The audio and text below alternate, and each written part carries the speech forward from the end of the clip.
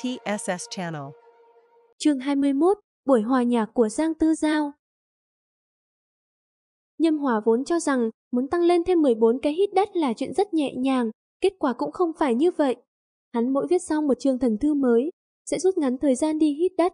Sau đó tới thời điểm hit đất tự suy nghĩ một chút kịch bản phát triển. Nhâm Hòa không có đại cương, chỉ có cốt truyện chính. Hắn luôn cảm thấy, linh quang chợt lóe nghĩ ra chi tiết câu chuyện mới là tình tiết đặc sắc nhất trong sách. Luyện thêm 2 ngày, hắn phát hiện mình hiện tại mỗi phút có thể thực hiện từ 76 cái hít đất lên thành 80 cái, nhưng là sau khi hít được 80, lại bắt đầu rất khó tiến thêm, tự hồ đến bình cảnh. Trong thời gian đó, tố chất thân thể của Nhâm Hòa Từ có thể nhảy 3,11m lên 3,12m. Đây là kết quả của sự rèn luyện. Muốn nâng cao tố chất thân thể, không chỉ là phải dựa vào khen thưởng, còn có kiên trì rèn luyện, cùng với sự trưởng thành của bản thân. Khi hắn đến trường học, hứa nặc kinh ngạc nhìn hắn một cái, ta như thế nào cảm giác cậu gần đây cao lên. Cậu có mắt tốt đó, Nhâm Hòa nói. Hôm nay tổng kết cuộc thi hàng tháng, cậu chuẩn bị thế nào? Hứa nặc ở trên bàn cầm bút chì vẽ bản thảo nhỏ, tranh thủ lúc thi làm cho mình thoải mái một chút.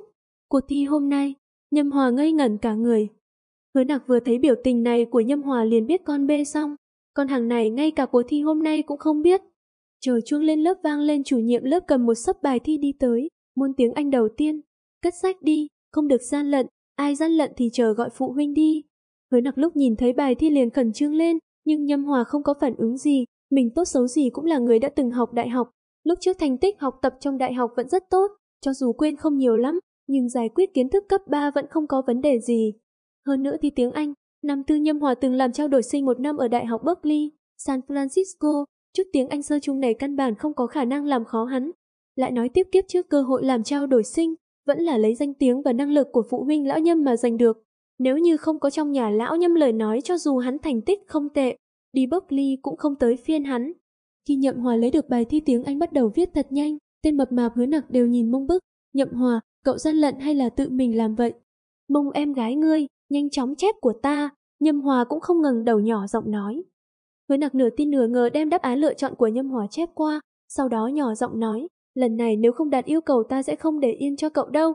80 điểm trở lên, cược 100 đồng, có cược hay không? Nhậm Hòa liếc hắn một cái. Hứa nặc thấy anh chắc chắn như vậy, vội vàng rụt cổ, không đánh cuộc. Một ngày thi xong, ngoại trừ hóa học vật lý tương đối đau chứng ra, mấy môn khác của Nhâm Hòa đều xem như thoải mái vượt qua kiểm tra. Lúc này vẫn không có một xu khoa học tự nhiên, chẳng qua hóa học vật lý lịch sử chính trị chiếm điểm tương đối nhỏ.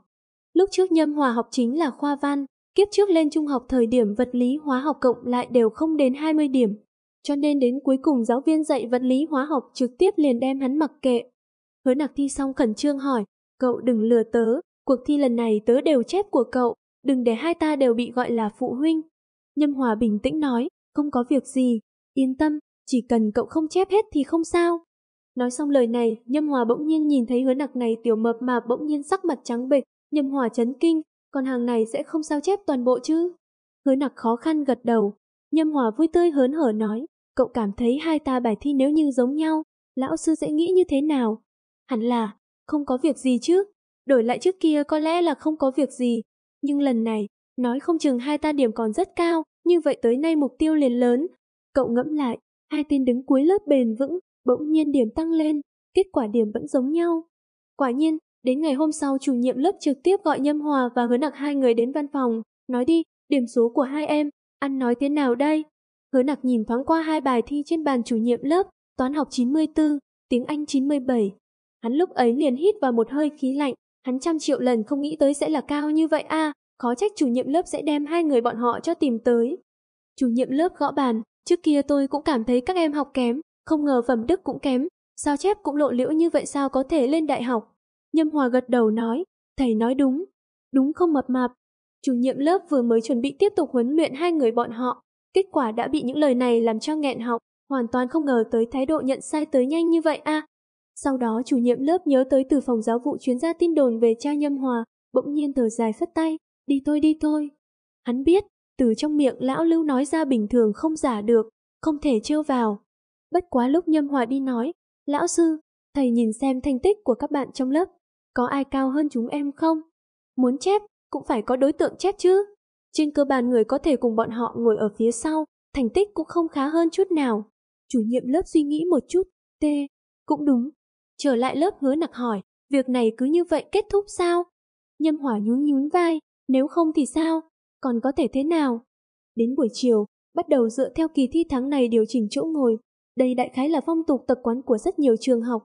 Thành tích thi tốt có thể chọn chỗ ngồi trước, dùng cái này để cho mọi người phấn đấu đi tới, cũng để cho các bạn thành tích kém biết xấu hổ rồi sau đó dũng cảm cố gắng. Nhâm Hòa và Hứa Nặc từ trước đến nay bền vững ngồi hàng cuối cùng, bỗng nhiên được chủ nhiệm lớp sắp xếp chọn chỗ ngồi trước, theo thành tích mà nói. Phía trước bọn họ cũng chỉ có vài người mà thôi, trong đó bao gồm đoạn tiểu lâu và dương tịch, hai người vẫn ngồi cùng bàn như cũ. Lần này trong cho cả lớp đều bắt đầu nghị luận, hai đuôi xe này xảy ra chuyện gì, sao lần này thi tốt như vậy? Chẳng lẽ uống nhầm thuốc rồi, hay là gian lận? Đến phiên hứa nặc và nhâm hòa chọn chỗ ngồi, nhâm hòa trực tiếp kéo hứa nặc ngồi vào chỗ ngồi phía sau đoạn tiểu lâu và dương tịch. Đoạn tiểu lâu kinh ngạc nhìn nhâm hòa, sao lần này các cậu thi tốt như vậy? Phát huy vượt xa người thường, nhậm hòa vui tươi hớn hở trở lại, vừa nói chuyện, vừa nhìn phía sau đầu dương tịch. Ánh mặt trời từ cửa sổ phòng học chiếu vào, vừa vặn chiếu lên mặt dương tịch. Nhâm hòa nhìn lông mi thật dài của dương tịch khẽ run rẩy, làn da nhẵn nhụi như mỡ. Hắn thích cô gái này, quả thật thích, có lẽ là lúc trước khi nhảy qua phòng học đã nhất kiến trung tình, tuy rằng khi đó còn không thấy rõ tướng mạo, giống như là Dương Tịch cùng hắn đối diện, cho hắn trong lòng gieo xuống một quả hạt giống, đã sắp mọc rễ nảy mầm. Nhâm Hòa chú ý, khi nghe thấy những lời này, Dương Tịch có vẻ như ngạc nhiên một chút, đoạn tiểu lâu trước tiên lên tiếng, cậu lấy đâu ra tiền mua vé, lúc này, việc học mới là quan trọng nhất. Câu nói sau đó thực sự rất đột ngột, như thể muốn ám chỉ điều gì với Nhâm Hòa, Nhâm Hòa cười mỉm nói, các bạn khác đều có thể đi, tại sao ta lại không thể? Dương Tịch bất ngờ quay đầu lại hỏi, cậu cũng muốn đi xem buổi biểu diễn của Giang Tư Giao sao? Cũng muốn đi xem sao? Nhâm Hòa suy nghĩ ý nghĩa câu này, liệu rằng nàng vốn dĩ đã có dự định đi xem?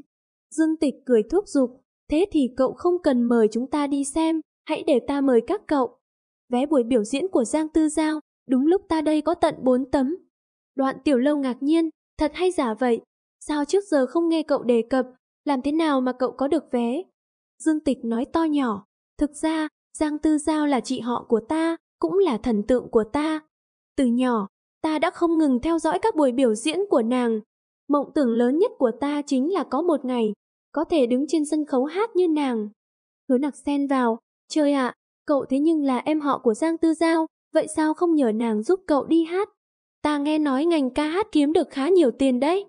Đâu phải vấn đề tiền, ta chỉ muốn trên sân khấu hát cho người khác nghe thật tốt mà thôi. Không cần bạn nhảy hay gì đó, chỉ cần yên lặng hát, bài hát dễ nghe, không cần ồn ào, Dương Tịch lắc đầu giải thích. Tự nhiên dối quá, sao từ việc mời người nghe hòa nhạc lại trở thành việc ăn chùa vé? Nhâm Hòa gãi cầm suy nghĩ, vậy là nàng thích hát hả? Vậy mình có thể giúp nàng được chứ? Nhưng là, giới giải trí là trào nhuộm lớn, không biết Dương Tịch có thể giữ vững bản tâm hay không? Tuy nhiên, bây giờ nói chuyện này còn sớm, Nhâm Hòa nói, vậy được, quyết định thế đi. Khi đó cậu mời chúng ta nghe hòa nhạc, ta mời các cậu ăn cơm. Tốt, Dương Tịch gật đầu. Đoạn tiểu lâu liếc Nhâm Hòa một cái rồi quay đầu đi, chẳng biết đang nghĩ gì. Việc Dương Tịch là em họ của Giang Tư Giao dường như chỉ là một bí mật nhỏ, được giữ kín chỉ trong vòng bạn bè nhỏ hẹp của bốn người. Đôi khi, cách thức kéo gần khoảng cách nhanh chóng nhất chính là chia sẻ bí mật. Vài ngày nay, Nhâm Hòa ngoài việc chạy bộ vào buổi tối, còn phải luyện tập hít đất. Mỗi ngày đều phải luyện cho đến khi kiệt sức mới nghỉ ngơi được.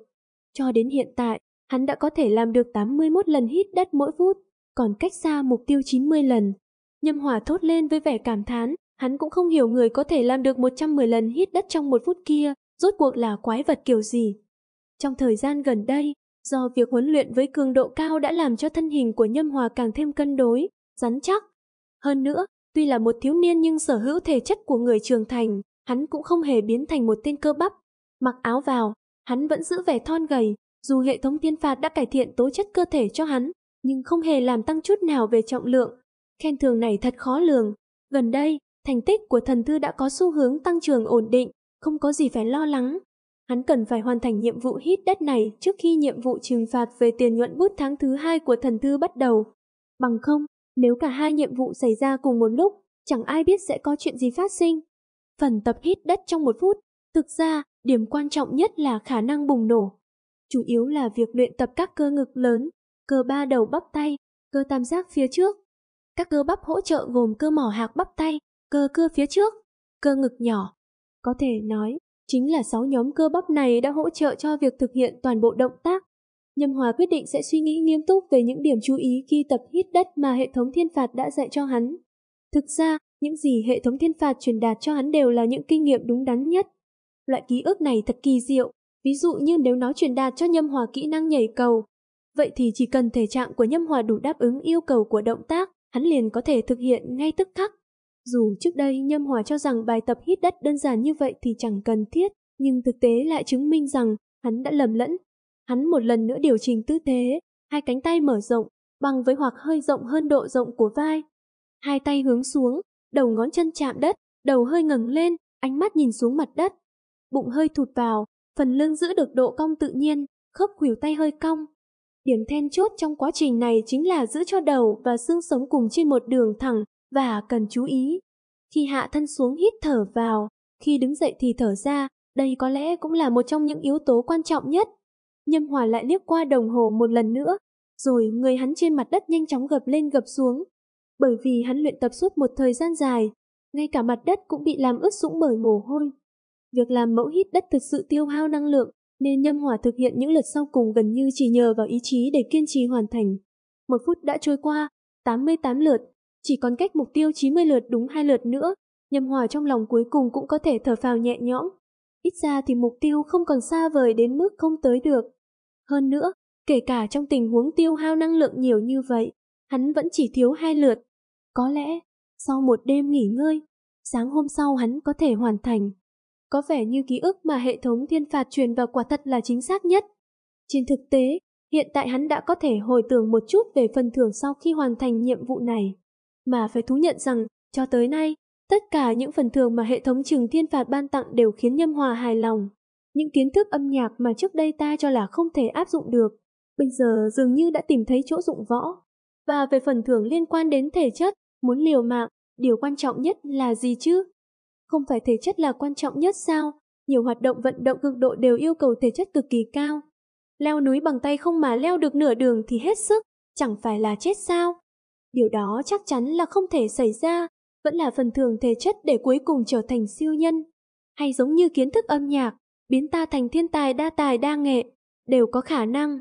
Trong lúc chạy bộ buổi tối cùng đoạn tiểu lâu, hắn ta không ngừng để lộ nụ cười trên khuôn mặt. Điều này khiến đoạn tiểu lâu phần nào mê mang, không hiểu nhâm hòa hôm nay đang ra sao. Nhưng, sau những trò đùa của bạn cùng lớp, nàng đã cố tình duy trì mức quan hệ bạn bè giữa họ.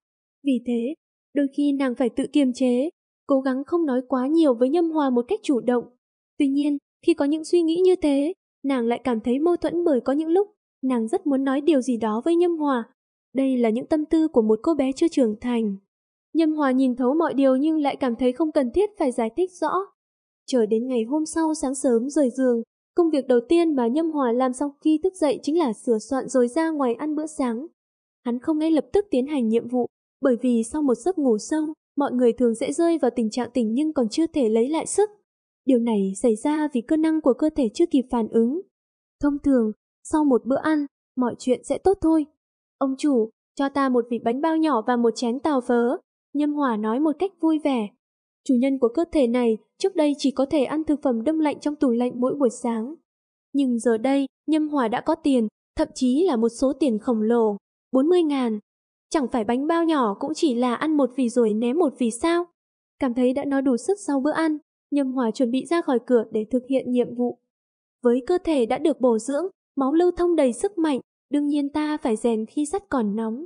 Lại nghe tiếng cười của lão bản, chàng trai trông thật sáng khoái nhỉ thân hình thật là rắn chắc. Không dối, Nhâm Hòa hiện nay với tinh thần và khí lực vượt trội so với những người cùng tuổi, đặc biệt là sự tràn đầy nhiệt huyết.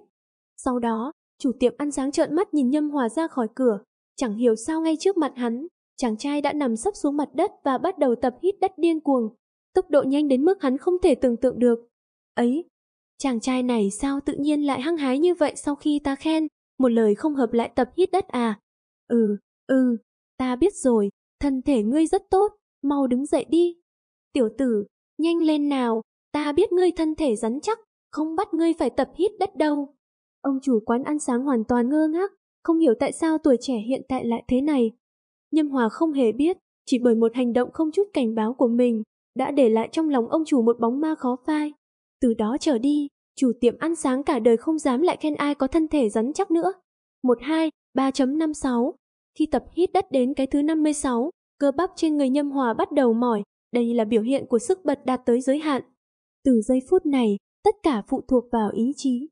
Lúc này, những người đang thưởng thức bữa sáng cũng dừng lại, để mắt theo dõi Nhâm Hòa đang chăm chỉ tập hít đất. Bọn họ chỉ cảm thấy tốc độ của Nhâm Hòa thực sự đáng kinh ngạc, nhưng giống như lão chủ quán, bọn hắn cũng bối rối không biết hắn đang làm việc đó vì lý do gì.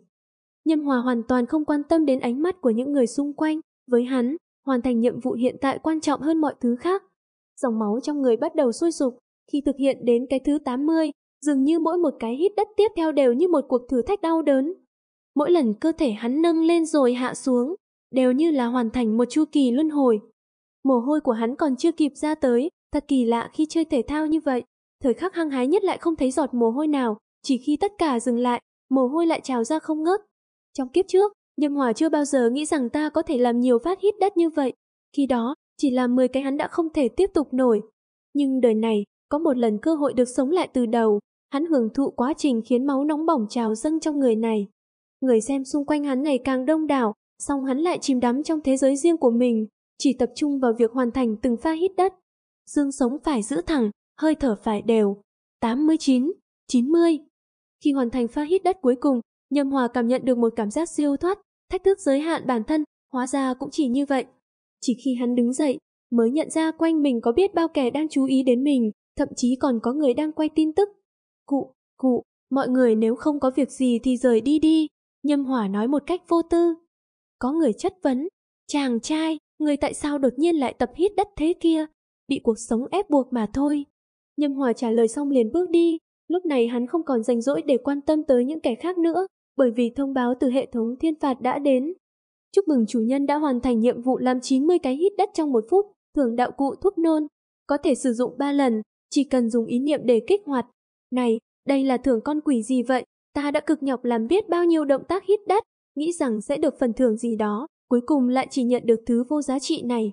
Hắn ta gào lên, cậu đang đùa giỡn với ta sao? Hắn phát điên lên, nói nghiêm túc một chút đi chứ hà. Hắn hét lên trong sự tức giận, với cái này, ta phải dùng như thế nào chứ? Nói rằng đã cho một lọ thuốc, nhưng sao lại chẳng thấy lọ thuốc đâu? Đúng lúc Nhâm Hòa đang bối rối không biết nên sử dụng thứ này như thế nào, bất ngờ có một người đàn ông trung niên vỗ nhẹ lên vai hắn, bạn học này, chào ngươi, ta chính là phóng viên của mục giải trí của báo Triều Lạc Thành, vừa rồi ta tình cờ ở quán kia ăn sáng, ta muốn phỏng vấn ngươi một chút. Ói, Nhâm Hòa nhìn phóng viên kia đang nói dở dở lại bắt đầu ói, những thứ ăn sáng kia chắc chắn đã bị lãng phí hết. Nhâm Hòa vội vàng tránh ra, biểu tình trên mặt vô cùng kỳ quái, dường như muốn cười nhưng lại không dám cười.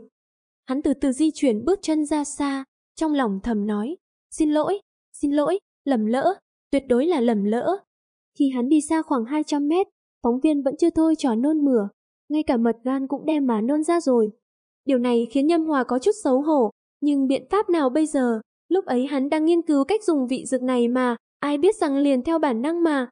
Nói đến vị thuốc này thật sự rất mạnh a Nhâm Hòa gãi cầm nghĩ, điều này đã làm dịu đi sự bất mãn của hắn khi lần đầu tiên nhìn thấy phần thưởng. Có lẽ thứ này vào lúc quan trọng có thể phát huy công dụng lớn đâu, ít nhất thì cũng khá thú vị, đúng không? Hắn đột nhiên có cảm giác, cái hệ thống thiên phạt này cũng chẳng là nghiêm túc là bao. Đã tới trường, ta cứ bình thường mà theo học. Trên thực tế, vào giai đoạn này không có nhiệm vụ trừng phạt nào, cũng không gặp áp lực cuộc sống nào. Thật sự là khoảng thời gian nhẹ nhàng nhất. Chỉ cần viết ra thần thư đã hình thành trong đầu ta là tốt rồi. Thời gian còn lại, hắn có thể yên tâm tận hưởng cuộc sống. Hắn lửa mắt sang bên và phát hiện thấy bạn mập hứa nặng đang chăm chú đọc một quyển sách khá to và nặng. Nhâm Hòa tỏ vẻ tò mò, cậu đang đọc gì vậy? Đây là quyển sách mà anh họ của ta tặng, về tư tưởng lập trình, nhìn chung cũng khá thú vị đấy, hứa nặc nói. Nhâm Hòa nhớ ra, hứa nặc từng đề cập đến khả năng và sở thích lập trình của mình. Hắn hỏi, tư tưởng lập trình là cái gì vậy? Cái gì gọi là tư tưởng lập trình? Câu trả lời có thể rất phức tạp, nhưng cũng có thể rất đơn giản. Nói một cách đơn giản, đó là cách suy nghĩ để giải quyết các vấn đề thực tế của con người bằng máy tính.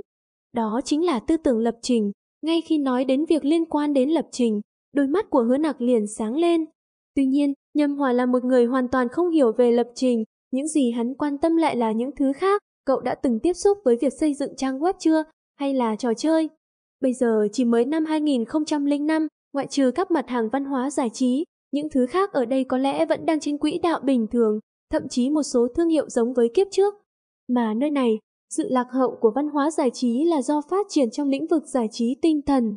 Một số thậm chí là vấn đề di trúc lịch sử mà phát triển bất thường, còn lại thì ảnh hưởng không quá nghiêm trọng, chỉ hơi lạc hậu một chút. Nhâm Hòa quan sát một thời gian dài rồi phát hiện, phần lạc hậu này chính là thể loại giải trí trên mạng và trò chơi. Trò chơi nổi tiếng nhất hiện tại vẫn còn động lại ở thể loại tương tự kiếp trước như cảnh giác màu đỏ, tiên kiếm kỳ hiệp truyện, thời đại huyền thoại, vì vậy Nhâm Hòa cũng có một chút suy nghĩ về điều này. Hắn chỉ cảm giác rằng nếu thiếu đi một vài trò chơi nào đó trên thế giới này thì đó quả thực không thú vị. Hắn trong kiếp trước cũng chính là một trạch nam, mỗi ngày đều không thể tách rời khỏi thế giới game. Trò chơi, cậu muốn nói về loại nào? Loại chiến thuật năm đấu năm, tức là 10 người chia thành hai đội, sau đó đánh nhau, Nhâm Hòa giải thích một cách do dự. Cậu bé mập mạp hoàn toàn bối rối, đây rốt cuộc là thứ gì? Cậu có thể mô tả một cách chi tiết hơn chút nữa không? Nhưng mà việc giải thích về trò chơi đối với Nhâm Hòa thật sự là một việc khó khăn trong chốc lát. Hứa nặc suy ngẫm một chút, rồi nói, xây dựng website là quá trình sử dụng ngôn ngữ đánh dấu, thông qua một chuỗi các hoạt động thiết kế, mô phỏng và thực hiện để truyền tải thông tin dạng điện tử qua mạng Internet. Cuối cùng thông tin này sẽ được người dùng xem qua giao diện đồ họa.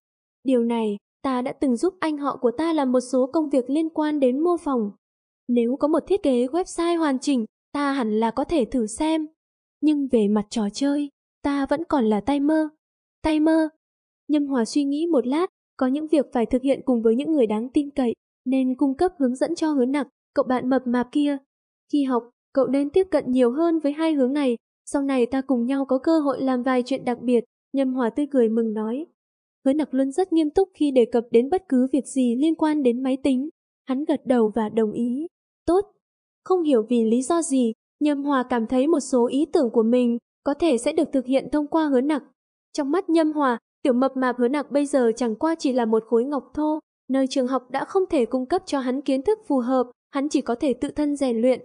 Với phương pháp học nhồi nhét đều như một của giáo dục truyền thống, thì nó không phù hợp với hứa nặc, hắn nên thuộc về thế giới rộng lớn bên ngoài kia, còn Nhâm Hòa có thể làm chính là giúp đỡ hắn.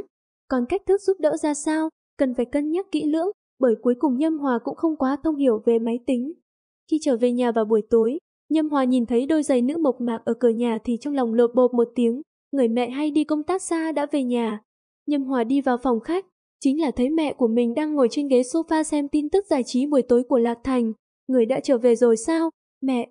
Nhâm Hòa thấy có chút nản lòng, thực sự là, ở kiếp trước dù cha hắn không nghiêm khắc đến mức nào, yêu cầu đối với hắn cũng chẳng khắt khe đến mức nào, nhưng mẹ hắn thì hoàn toàn khác.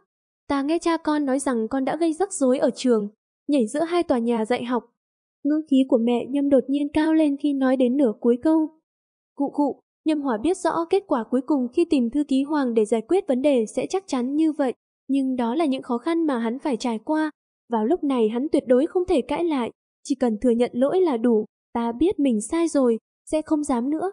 Quả thật, khuôn mặt mẹ Nhâm đã nhanh chóng lấy lại sự bình tĩnh, khi là học sinh, con phải học hành nghiêm túc, khi chơi thì hãy chơi đúng mức, hiện tại con đang ở giai đoạn quan trọng của việc học, tuyệt đối không được để tư duy đi sai lệch. Bài giảng về tư tưởng này ngay từ đầu đã kéo dài nửa giờ, nhưng Nhâm Hòa vẫn phải chăm chú lắng nghe. Bà mẹ của hắn, vốn đã quản lý nhiều người, trên người tự nhiên toát ra một thế uy vô hình, hàng ngày cứ coi Nhâm Hòa như một kẻ thuộc hạ. Sau khi giáo dục xong, mẹ Nhâm lấy lại vẻ mặt bình thản, con còn tiền tiêu vặt không? Ta lại cho con 5 đồng tiền, cầm đi mua đồ ăn vặt, trong tủ lạnh đã sẵn những món ăn nhanh như sủi cảo và những thứ khác. Theo lý thuyết của mẹ Nhâm, nếu cậu bé có tiền thì sẽ học thói xấu, đi tiệm nét, tán gái, những việc này đều cần tiền. Nếu một cậu bé đột nhiên thiếu tiền, thì chứng tỏ hắn nhất định đã đi lạc lối. Đời trước, Nhâm Hòa không biết đã bày tỏ sự bất mãn bao nhiêu lần, quả thật không rõ đám chó má nào đã truyền dạy cho mẹ Nhâm quan niệm ấy, làm nên tuổi thơ bi thảm của hắn. Nhâm Hòa vội vàng chấn an, không sao, trong túi ta còn đúng 50 đồng, không cần phải cho ta tiền tiêu vặt. Cái tình huống này, khi chính mình nói ra, Nhâm Hòa còn cảm thấy lòng mình đau đớn. Nếu không nhờ kiếp trước trọng sinh trở về có thể viết tiểu thuyết kiếm tiền, hắn đã gục ngã từ lâu. Quả nhiên, mẹ của Nhâm Hòa nghe nói hắn không cần tiền tiêu vặt liền vui mừng, con học tập thật tốt, sau này bước vào xã hội con sẽ hiểu, thời kỳ thiếu niên học được sự tiết chế chính là điều tốt. Đúng lúc này, trên màn hình TV, tin tức giải trí đột nhiên chuyển hình, phóng viên của đài chúng tôi sáng nay đã gặp một thiếu niên đam mê luyện tập. Trong một phút có thể nhanh chóng làm hàng chục lần hít đất, nhưng khi phóng viên hỏi hắn vì sao phải hít đất, hắn lại không trả lời. Ngoạ tào, Nhâm Hòa cảm thấy mặt mình đen như đít nồi, đây chính là cảnh báo rằng mình sắp đen đùi sao. Và cái gọi là không trả lời kia, rõ ràng là phóng viên tự nói ra mà. Trên màn hình TV, từ góc độ của một người quan sát, đang quay tin tức. Trong tin tức, Nhâm Hòa đang nhanh chóng thực hiện động tác hít đất với tần suất cực kỳ nhanh. Làm mẹ của Nhâm Hòa, như mẫn khi nhìn thấy đoạn tin này, lông mày nàng lập tức giật lên. Con trai của nàng, làm sao nàng có thể không nhận ra, đừng nói là chỉ một góc mặt còn rất dễ nhận ra, dù chỉ là bóng dáng, nàng cũng có thể nhận ra. Nhâm Hòa, con hiện tại suốt ngày ở trường học lại học cái gì vậy? Xong rồi, lại bắt đầu rồi. Nếu còn gặp lại kẻ phóng viên kia, nhất định phải bắt hắn nôn một lần nữa, chẳng nhẽ không? Vào buổi tối, thật không dễ dàng để thoát khỏi miệng hổ.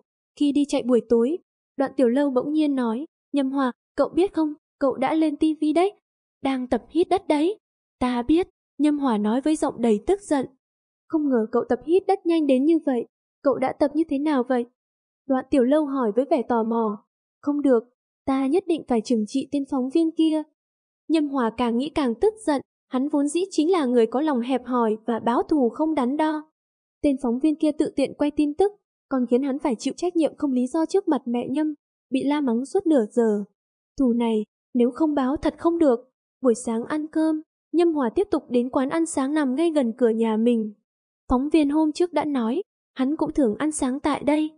Vì thế, khả năng cao đối phương hôm nay cũng sẽ xuất hiện. Kể cả nếu không ăn tại quán này, hắn cũng có thể sẽ đi ngang qua. Hắn gọi một lồng bánh bao và một tô sữa đậu nành, rồi ngồi ngay cửa hàng, miệng nhai, mắt tập trung vào việc theo dõi từng người qua lại.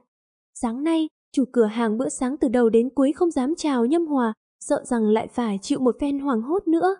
Nhưng hắn thấy hơi khó hiểu, thiếu niên này đang tìm kiếm cái gì mà cứ để ánh nhìn lơ đãng bên ngoài. Đúng lúc ấy, ánh mắt Nhâm Hòa sáng lên, đã tới rồi.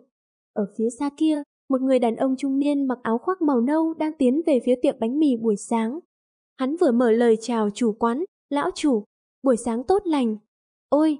Tiếp theo, thức ăn mà hắn đã ăn sáng như suối phun ập tới, phun ra cách đó 2-3 mét. Chủ tiệm bánh mì trở nên bối rối, trong lòng chửi rủa, mẹ nó, buổi sáng sớm thế này mà cũng có thể ghê tởm đến thế. Nhâm Hòa cười như được mùa, uống hết tô sữa đậu nành rồi rời tiệm bánh mì, hớn hở đi học. Chủ tiệm bánh mì đau đầu suy nghĩ, không biết mình đã chọc tức ai. Từ đó về sau, trong lòng hắn thêm một bóng ma, không dám chào hỏi người khác. Ôi, thật là tự làm khổ mình. Nhâm Hòa trên con đường tới trường, lòng hắn phơi phới trong niềm vui sướng. Bây giờ, ngược lại, hắn càng ngày càng yêu thích hệ thống thiên phạt.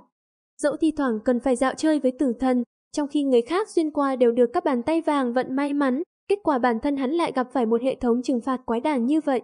Nhưng chỉ cần hoàn thành nhiệm vụ, cuộc sống của hắn có thể sẽ ngày càng phong phú và đa dạng, hệ thống thần kỳ, tiếp sức. Cũng không biết tháng này khi kết toán tiền nhuận bút của thần thư sẽ đưa ra nhiệm vụ gì, và phần thưởng sau nhiệm vụ lại là gì nữa. Suy nghĩ lại, hắn vẫn đầy trông đợi, hắn càng ngày càng thưởng thức niềm vui mạo hiểm này. Điều này làm cho hắn có cảm giác rằng mình và người khác không giống nhau.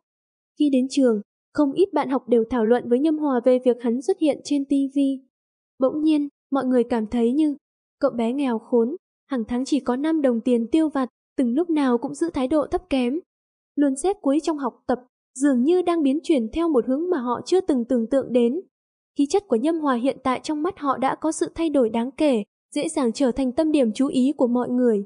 Còn những việc hắn đã làm, chắc chắn là những việc mà học sinh bình thường không dám làm. Tuy nhiên, trong mắt họ, Nhâm Hòa vẫn còn là cậu bé nghèo ấy, cậu bé chỉ có 5 đồng tiền tiêu vặt mỗi tháng. Vào thời khắc này, một tin tức bom tấn bỗng nhiên nổ ra, đó chính là lúc Giang Tư Giao đã đặt chân tới Lạc Thành. Chỉ còn hai ngày nữa là đến ngày khai mạc buổi hòa nhạc, có người đã nhìn thấy bóng dáng của Giang Thần tại sân bay. Thế giới giải trí đột nhiên bị tin tức về hai người này làm rung chuyển. Trong lớp, những cô bé xinh đẹp đang mải miết nói chuyện, bàn tán về những ân oán tình thù giữa Giang Tư Giao và Giang Thần, hai ngôi sao hàng đầu. Quả là giống như những gì Nhâm Hòa đã trải qua năm nào, những lời đồn đại về ngôi sao chính là điều mà những cô gái nhỏ này yêu thích nhất. Ngay cả hứa nặc, gã béo này cũng thầm thì hỏi Dương Tịch, chị cậu có biết việc Giang Thần đến không? Dương Tịch nhìn gã béo này cố nhịn cười nhưng không thốt nên lời, kết quả lại khiến hứa nặc co do. Nhâm Hòa mỉm cười, điều này giống như vô số niềm vui nhỏ trong cuộc sống, việc chia tay rồi lại hợp lại giữa các minh tinh cũng không phải là chuyện không có, không có gì là kỳ quái cả. Chỉ là cuộc sống của các ngôi sao giống như được phóng đại trước mắt quần chúng như qua kính hiển vi, ánh nhìn của mọi người đều đang dõi theo họ. Cảm thấy như thế này cũng khá mệt, do đó Nhâm Hòa từ lúc đầu đã không có ý định tự mình đi hát. Tất nhiên, việc hắn có giọng hát tệ cũng là một phần lý do. Trong hai ngày học này, Nhâm Hòa ngoại trừ việc tiếp tục tránh né thầy giáo và gõ thần thư trên điện thoại, hắn liền trao đổi những tờ giấy nhỏ với Dương Tịch. Dương Tịch ngồi ngay phía trước bên trái hắn, việc trao đổi tờ giấy cũng đặc biệt tiện lợi. Buổi tối nay, cùng ăn cơm nhé. Chúng ta bốn người, những dòng chữ này là Nhâm Hòa gửi đi, không hiểu vì sao, bây giờ trong lòng hắn lại nổi lên cảm giác hồi hộp như thời học sinh khi cầu hôn một cô gái. Dường như tâm tư của hắn cũng trở về thời niên thiếu, thậm chí việc mời ăn cơm cũng cần phải có bốn người. Phải về nhà ăn cơm đúng giờ, không rõ vì lý do gì, Dương Tịch lại không từ chối tờ giấy của Nhâm Hòa. Nhâm Hòa là học sinh thế nào? Diện mạo của hắn tối đa chỉ có thể xem là tiêu chuẩn, không hề nổi trội. Kết quả học tập thì trừ lần thi hàng tháng này ra, toàn là kém cỏi đến muốn tự tử, mỗi lần đều làm cho thầy cô tức giận đến gần chết. Thậm chí, hắn còn không có tiền tiêu vặt, đây chính là nhận xét của các nữ sinh trong lớp về Nhâm Hòa trong quá khứ. Do đó, ngay khoảnh khắc nhận được thư tình từ Nhâm Hòa, đoạn tiểu lâu đã tức thì cảm thấy bài xích. Vậy thì những học sinh nổi tiếng nhất trong trường thường có những đặc điểm gì? Bỏ qua phần học tập, họ phải có tiền, phải đẹp trai, trang phục phải là hàng hiệu, phải có phong cách. Mặc dù Nhâm Hòa đã có một số hành động khác thường, nhưng những nữ sinh trong lớp vẫn chẳng hề hay biết rằng hắn đã bắt đầu dấn thân vào việc viết sách, lại còn kiếm được khá nhiều tiền. Mặc dù tam tự kinh hiện đang được tung hô và tuyên truyền mỗi ngày, nhưng chẳng ai biết rằng tác giả của nó chính là Nhâm Hòa. Chu lão ở phương diện này thật sự đã giúp Nhâm Hòa giữ bí mật một cách rất chắc chắn. Vì thế, trong mắt các nữ sinh trong lớp, Nhâm Hòa vẫn chỉ là một học sinh kém, chỉ khác là hắn là một học sinh kém. Hơi khác biệt mà thôi, nếu đổi thành một nữ sinh khác, có lẽ khi thấy tờ giấy của hắn, cũng sẽ giả vờ như không nhìn thấy.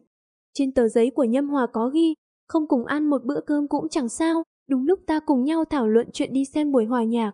Tờ giấy vừa được trao qua, Nhâm Hỏa liền nhìn thấy Dương Tịch trên gương mặt hiện lên vẻ do dự. Hắn biết là có cơ hội. Không hiểu vì sao, chỉ vì cái nhìn lúc nhảy qua tòa nhà dạy học đó, Nhâm Hòa đối với Dương Tịch có một cảm giác không tên. Hơn thế nữa, trên người Dương Tịch có thứ mà nhiều thiếu nữ hiện tại đều không có, chẳng hạn như mục tiêu và tầm nhìn. Những ngày gần đây, càng trò chuyện nhiều hắn càng phát hiện, Dương Tịch có lẽ bởi vì do có người cha làm ngoại giao. Nàng đã đi qua nhiều nơi, tiếp xúc với nhiều người, từ đó có tầm nhìn và suy nghĩ khác biệt với mọi người. Nàng muốn hát, muốn hát cho rất nhiều người nghe, nàng thầm ngưỡng mộ chị họ của chính mình, có thể tự do trổ tài giữa sự chú ý của hàng vạn người, hát vang lên cho hết thảy mọi người cùng nghe. Rất nhiều kẻ, từ khi còn nhỏ đã ấp ủ một giấc mơ trở thành ngôi sao, Dương Tịch cũng không nằm ngoài số đó, chỉ là nàng đã chọn thực tế mà thôi. Nhâm Hòa cũng muốn giúp nàng thực hiện giấc mơ hát của mình, chỉ là thời khắc phù hợp vẫn còn chưa đến mà thôi. Khi tan học, Dương Tịch đã gọi điện cho cha của nàng, một quan ngoại giao. Ừ, ba, tối nay ta sẽ cùng các bạn học cùng nhau dùng bữa trước khi về nhà. Nhâm Hòa có thể nghe thấy tiếng cười rộn rã, tươi tỉnh của nam nhân kia qua điện thoại. Con đã lớn như vậy rồi, những việc như thế này tự mình quyết định, nhớ về nhà sớm nhé. Ồ, Nhâm Hòa lại thật sự cảm thấy hứng thú với người đàn ông này, thật thú vị. Được, tối nay ta hãy cùng đi ăn cơm. Dương Tịch nói với nụ cười trên môi. Ánh nắng mặt trời từ cửa sổ phòng học chiếu sáng trên khuôn mặt của Dương Tịch, làm Nhâm Hòa cảm giác như suýt nữa bị trói mắt. Hứa nặc với khuôn mặt ngạc nhiên, ăn cơm gì? Chúng ta cùng nhau ăn một bữa cơm tối nay, ta mời, Nhâm Hòa cười nói, bàn bạc một chút về việc đi đến buổi biểu diễn. Đoạn tiểu lâu liếc mắt nhìn Nhâm Hòa, gần đây nàng phát hiện hắn như đã trở nên thân thiết với Dương Tịch, không biết vì sao trong lòng nàng lại xuất hiện cảm giác mất mát, nhưng không lộ ra trên khuôn mặt. Nàng mỉm cười nói, được thôi, cậu định chiêu đãi chúng ta đi ăn gì? Quán bên đường miễn bàn. Ta đều tán thành, chỉ cần là nơi sạch sẽ một chút, Dương Tịch bổ sung. Nhật Quang Các nhá, Nhâm Hòa suy nghĩ một chút, Nhật Quang Các có lẽ là nhà hàng tự chọn đang kinh doanh tốt nhất ở Lạc Thành hiện nay phải không? Nhật Quang Các kia là chỗ nào vậy? Hứa nặc hỏi, học sinh bình thường thì chưa nghe nói về nơi đó. Bớt hỏi, sau giờ học theo ta là được. Nhâm Hòa không để ý, ánh mắt của đoạn tiểu lâu liên tục chớp lên, dường như đang nhìn Nhâm Hòa bằng một ánh nhìn mới. Rõ ràng nàng biết về nơi đó, nhưng điều khiến nàng tò mò chính là Vì sao Nhâm Hòa không giống như lời đồn đại của các bạn học, rằng mỗi tháng tiền tiêu vặt của hắn chỉ có 5 đồng. Dương Tịch thì hỏi đoạn tiểu lâu về Nhật Quang Các là nơi nào, bởi vì nàng mới vừa tới Lạc Thành nên chưa hề nghe nói về nó. Đoạn tiểu lâu giải thích cho nàng một chút, cuối cùng Dương Tịch nói, đừng đến những nơi đắt đỏ thế kia, trước cửa nhà ta có một quán ẩm thực hương giang, ta mới cùng cha đi ăn hôm qua, hương vị rất tốt, gọi là hương Tây Lạt vị tiểu xào, chúng ta đi ăn ở đó đi, còn tiết kiệm kinh tế nữa. Ồ, đó là quán nhỏ ở đường hành chính phải không? Nhâm Hòa chợt hỏi, Dương Tịch ngạc nhiên hớn hở, cậu cũng biết sao? Ha ha dĩ nhiên là ta biết, quán nhỏ đó mở rất nhiều chi nhánh, ta thích nhất là món rau hẹ xào tiết vịt và nhồi lòng gà của họ. Nhâm Hòa hồ hởi phát biểu, không ngờ rằng trong thế giới song song này cũng có quán nhỏ ấy, mà kiếp trước của hắn đã từng không ít lần ghé thăm. So với những nhà hàng xa hoa, hắn thật sự càng yêu thích những quán nhỏ bé, kinh tế nhưng chất lượng, nằm rải rác trong các con phố. Điều này làm cho hắn cảm thấy bình dân hơn một chút. Trong phút chốc này, hắn và Dương Tịch có cảm giác hỉ hả cười như có hiểu lầm gì đó, cảm nhận được một sự đồng lòng. Ngược lại, đoạn tiểu lâu và hứa nặc có chút lúng túng, không biết nói gì. Khi giờ tan học đến, Nhâm Hòa liền hô hoán mọi người nhanh chóng đi ăn. Khi đến quán nhỏ, cái nhìn bề ngoài nhỏ hẹp khiến đoạn tiểu lâu cau mày. Ngồi xuống, Nhâm Hòa liền kêu lên, chủ quán, chủ quán, gọi món abu. Một phần rau hẹ xào tiết vịt, một phần lòng gà, một phần thịt kho tàu, một phần đậu que xào thịt mỡ, một phần cá nấu trong nồi bằng, một phần cải xé tay xào. Lão bản vui vẻ, ta nhìn ngươi mặt mũi rất lạ, sao lại biết mà liệt kê hết món đặc sản của quán chúng ta thế? Chuyện đó ông cũng đừng để ý. Ha ha, sau này ta sẽ thường xuyên lui tới đây. Nhâm Hòa cứ nhìn cửa hàng này là thấy gần gũi. Dương Tịch thì thầm, gọi món hơi quá, ta với cậu ăn sao hết. Không vấn đề gì cả, nếu ăn không hết thì gói mang về, không lãng phí. Ta ở nhà, không có ai nấu cơm cho, toàn là tự mình nấu lại các món như rủi cảo đông lạnh, đóng gói về coi như là cải thiện cuộc sống cho ta đấy. Nhâm Hòa nói thẳng, đó đúng là sự thật, gần đây hắn ăn rủi cảo đến nỗi muốn nôn ra, cha mẹ hắn thì một người bận hơn một người, ai cũng không có thời gian để quan tâm đến hắn. Mẹ Nhâm còn nói là thuê người giúp việc riêng cho hắn, kết quả Nhâm Hòa từ chối thẳng thừng, bây giờ lại tự do hơn một chút đang ăn đến nửa chừng. Mọi người đều bị món ăn Hồ Nam cay nồng, đậm đà làm cho khuôn mặt đỏ lên. Tuy nhiên, vị cay chính là điều làm nên sự thú vị. Nhâm Hòa đã ăn đến bát cơm thứ ba rồi. Các cậu thích bài hát nào nhất của Giang Tư Giao? Nhâm Hòa thắc mắc trong lúc ăn cơm. Tất cả đều thích. Nói đến đây, hai cô nàng đều biến thành khuôn mặt cuồng nhiệt. Mỗi bài hát của nàng đều cực kỳ hay a. À. Nhâm Hòa cũng đã chuyên môn nghe qua những bài hát của Giang Tư Giao và Giang Thần. Có một vài bài thật sự rất hay, nhưng để nói là tất cả đều hay thì không phải. Hơn nữa, phong cách của nhạc hiện tại vẫn còn gần gũi với phong cách nhạc từ mười mấy năm trước trong thế giới cũ. Trong 100 bài hát thì có 98 bài đều liên quan đến tình yêu. Nghe đồn giới giải trí cực kỳ hỗn loạn, phải chăng là như vậy? Hứa nặc, trong khi gắp một miếng thịt kho tàu, hỏi, chị họ của cậu có từng nói với cậu về điều này hay không? Dương Tịch trả lời, ừm, thật sự rất hỗn loạn, hắn gật đầu. Tuy nhiên, nàng ấy cũng không nói nhiều với ta, rốt cuộc việc bàn tán sau lưng người khác cũng không tốt. Người nhà của nàng không thực sự muốn nàng theo đuổi sự nghiệp ca hát, vì thế nàng ít khi về nhà.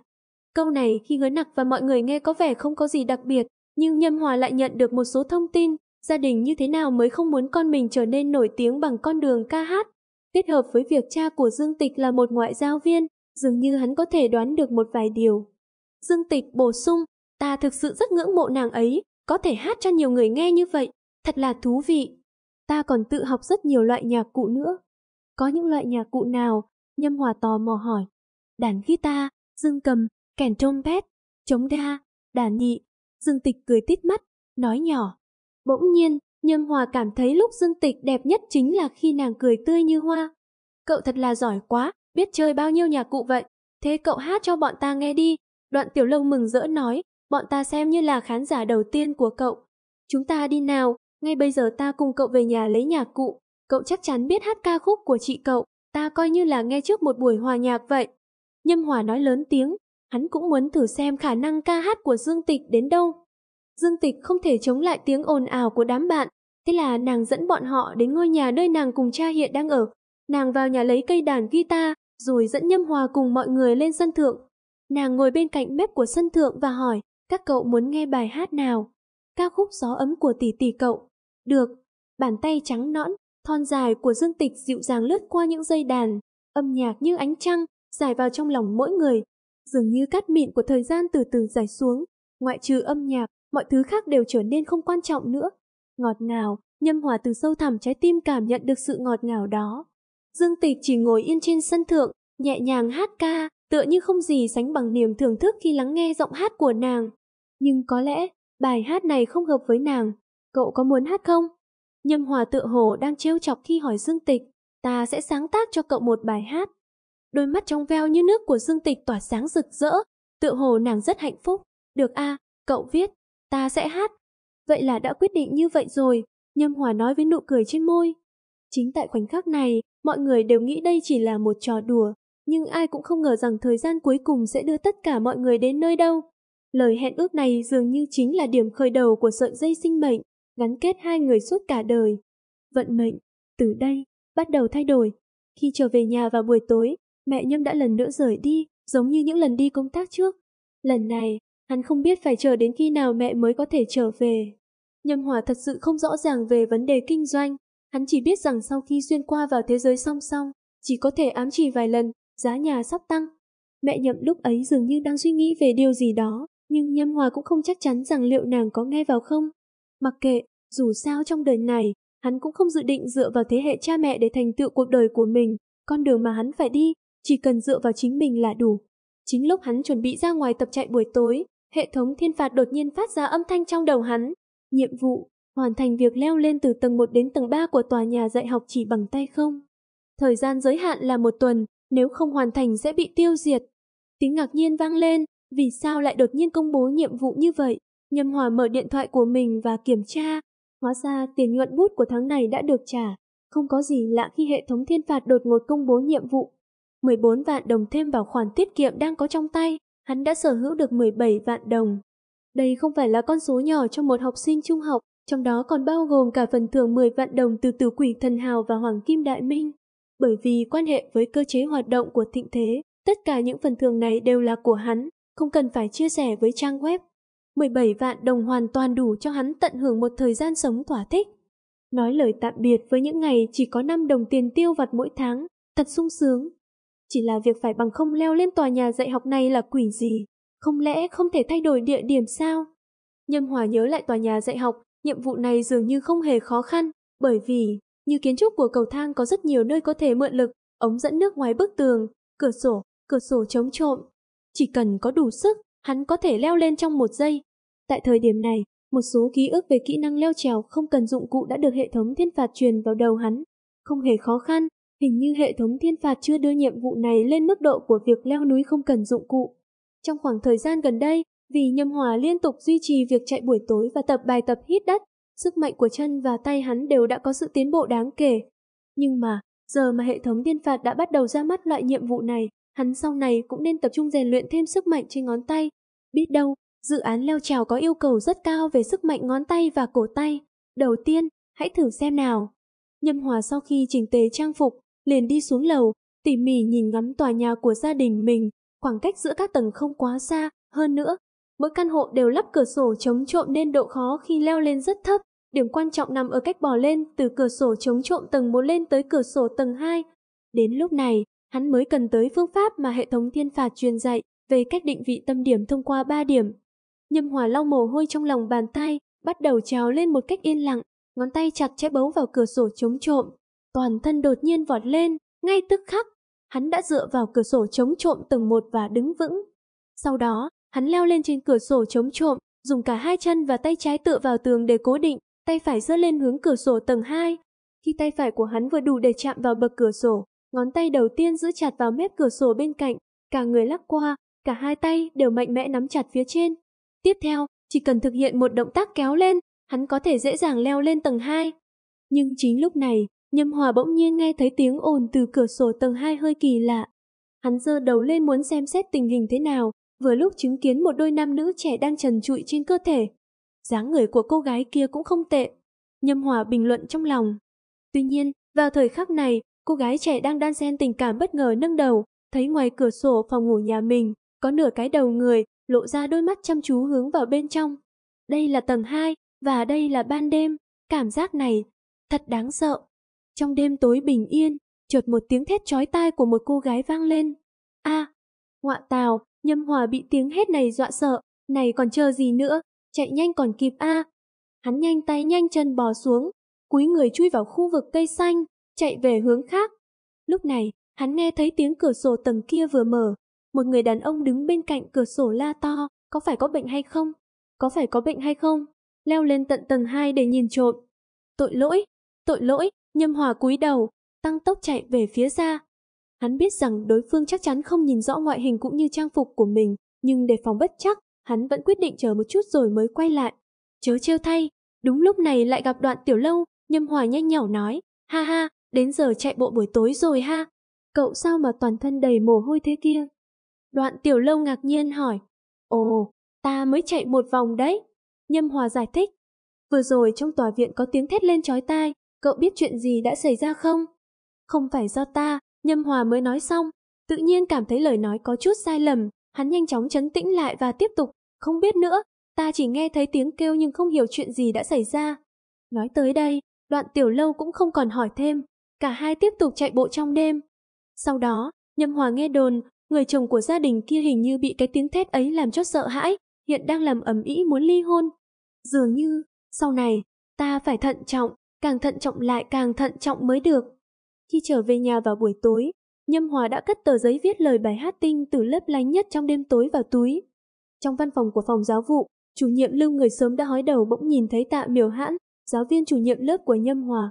Hắn nhanh chóng gọi, thầy tạ, tới tới tới, có việc muốn tìm anh. Tạ miểu hãn với vẻ mặt hoài nghi, lão lưu, việc gì vậy? Lão lưu hỏi, gần đây Nhâm Hòa trong lớp các anh thế nào? Ý ông muốn nói là gì tạ miểu hãn hơi bị bối rối. Chính là, có hay không hắn lại có hành vi nào khác người không? Chủ nhiệm lưu thẳng thắn nói ra, khi hai ta cùng nhau uống rượu lần trước, ta cũng đã nói với ông lý do chưa xử phạt hắn. Ông cần phải giúp hắn làm công tác tư tưởng, để hắn hiểu rằng việc thực hiện những hành động nguy hiểm như vậy không chỉ là vấn đề kỷ luật của trường học, mà hắn cũng nên xem xét đến vấn đề an toàn bản thân. Lúc này giọng của chủ nhiệm lưu trở nên nhỏ hơn, ông hãy nghĩ xem, cha hắn làm nghề gì. Nếu hắn gây rắc rối trong trường, đừng nói tới ông hay ta, thậm chí hiệu trưởng cũng phải chịu liên lụy. Khi đó, họ không quan tâm hắn có tự thực hiện hành vi nguy hiểm hay không, chỉ trách ta không giám sát tốt.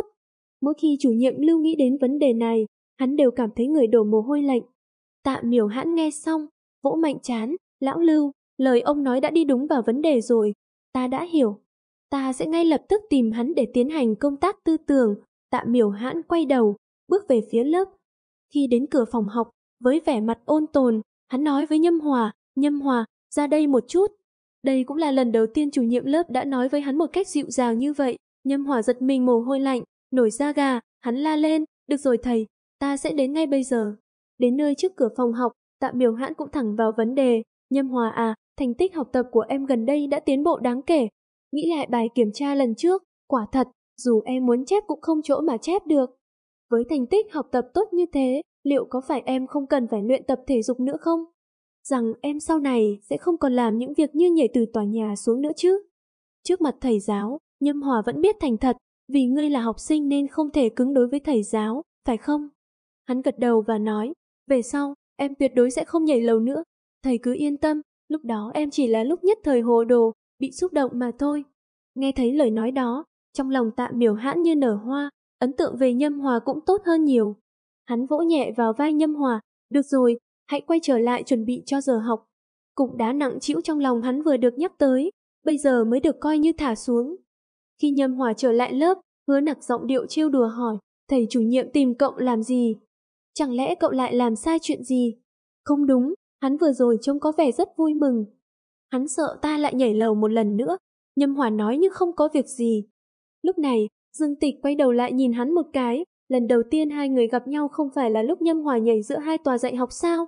Thật sự mà nói, nàng cũng không biết Nhâm Hòa nhảy từ tòa nhà vì lý do gì. Dương Tịch tỏ ra tò mò hỏi, cậu có phải đang thử thách môn thể thao cực hạn không?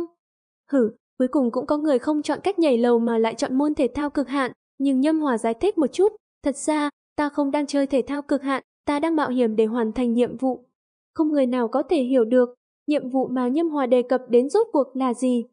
Ngày tiếp theo, chủ nhiệm Lưu đang rảnh rỗi, ngồi uống trà và đọc báo thì bỗng nhiên nhớ ra chuyện mà hắn đã nói với chủ nhiệm lớp tạ miểu hãn hôm trước. Hắn đặt báo xuống, chạy tới phòng làm việc của tạ miểu hãn, lão tạ, hôm qua trò chuyện với hắn thế nào rồi? Ha ha, ông nói về chuyện đó à?